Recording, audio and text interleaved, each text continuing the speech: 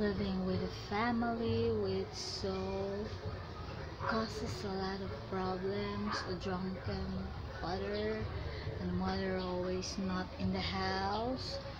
And with sisters and brothers always got trouble always in family.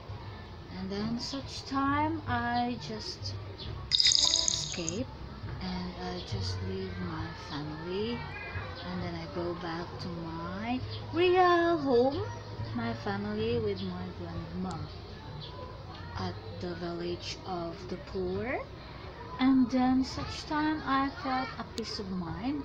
I felt uh, at home and at family here at the poor village where I've been grown up since I was a baby until I becoming adult and until I get married. Of course, I just still love in a silence and in a silence with no one at home, only my grandma, which is so old already.